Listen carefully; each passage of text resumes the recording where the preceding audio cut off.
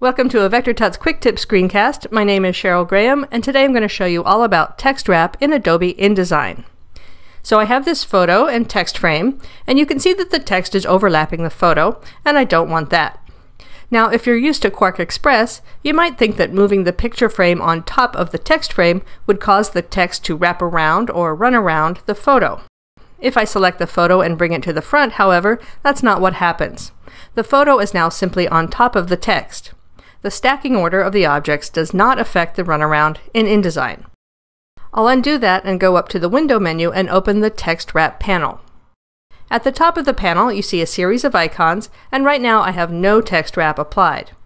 I'll click the next icon, which is Wrap Around Bounding Box, and that simply pushes the text away from the frame, and you can see how the text reflowed.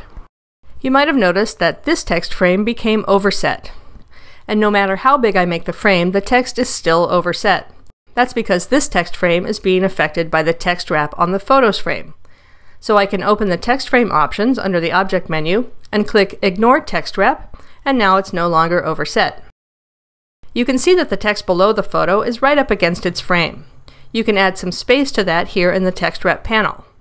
I'll change the bottom offset, and now you can see a thinner blue line indicating that offset.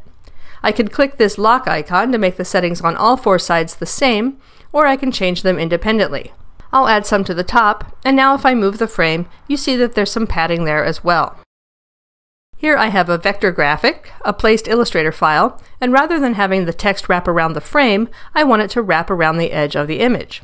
So I'll choose the next icon, which is Wrap Around Object Shape. That's not quite what I had in mind, so I'll go down here to the contour options, and right now it's set to the bounding box. You can see the bounding box, it's the light brown line, and that's just like the rectangular bounding box you'd see in Illustrator. So I'll choose Detect Edges, and now InDesign finds the edges of the artwork and draws a path. It's a faint blue line and it's hard to see, but if I increase the offset, and you can only change the offset all the way around when using Detect Edges, you'll see the path move away from the image. I'll select the frame now, and you can tell InDesign to wrap the text on both sides of the image, or just the left, or just the right. Or you can use the largest area setting. So InDesign will use the side that has the most room and wrap the text in that direction. If I move the frame to one side, the text wraps to the other, and if I change my mind, the text wraps accordingly. Now, often with an irregular shape, the text wrap needs some fine tuning, and you can actually go in and modify the path that InDesign created when it detected the edges. I'll double click to select the content of the frame, and I'll zoom in.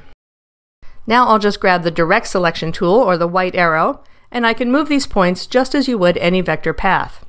You usually have to move the points tighter than you would think. You can also use any of the pen tools, and I'll choose the Delete Anchor Point tool and get rid of some of these points. That went a little too far, so I'll undo that and you can just keep fine tuning until you get the look you're after. I'll press the W key to go into preview mode so you can see those changes better. Here I have just a regular bounding box text wrap, and I'll increase the offset. I have the link turned on so the settings will be the same all the way around. This next icon will jump the text from top to bottom. In other words, no text will flow on the sides of the frame.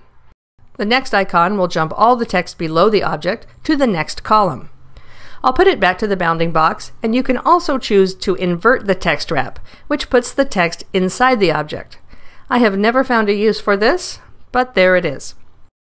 Now, what if you want the text to follow the contour of something in a photo, for example, the side of this guy's face? You'll first have to create a clipping path in Photoshop. I'll switch over to Photoshop and there's my clipping path called Path 1, and it's a special vector path that I've drawn around the person.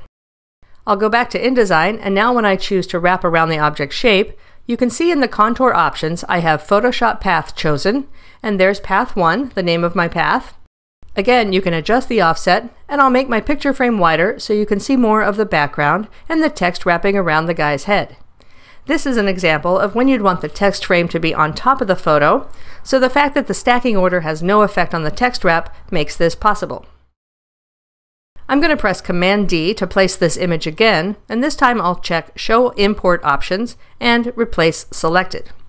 And with Show Import Options on, I can tell InDesign to apply that clipping path, and now you can see that the background gets cut out. I still have the same text wrap applied, so there's that effect. You don't have to have a clipping path in your image. Nobody likes drawing those after all. You can use an alpha channel. Here I have such a channel in my Photoshop file. It's simply a mask that's black and white and shades of gray, which I created, and it's called Alpha 1. So when I place it into my InDesign document and have Show Import options turned on, I can choose the alpha channel, and there's the preview. Now in the text wrap panel, I'll choose alpha channel and then the name of the path, alpha 1, and as before, InDesign draws a vector path around the edges that you can modify. So it's the best of both worlds, the transparency of an alpha channel with the control over the path. There's one more button on the text wrap panel. Here I have a big vector G, and I have Detect Edges chosen as my contour option, and I can check Include Inside Edges. Now the text will actually wrap inside those negative spaces in the shape. You have a lot of options and flexibility for text wrap in InDesign, giving you more ways to be creative.